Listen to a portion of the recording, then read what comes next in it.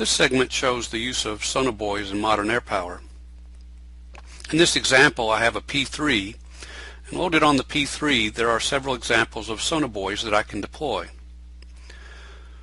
These are indicated by the designation U and you see that I have three to choose from. To deploy a sonobuoy you first select it and then while holding down the control key you right click on the aircraft carrying the sonobuoy. This will deploy it in the water. I'll proceed on. The green circle that remains is the range of the sonobuoy. An enemy submarine within that circle will be detected by it. I'll continue on for a while and then decide to deploy a second sonobuoy. It's already selected. I'll hold down the control key, right click on the P3, and a second one has been deployed. This one, in fact, identified the enemy submarine to me.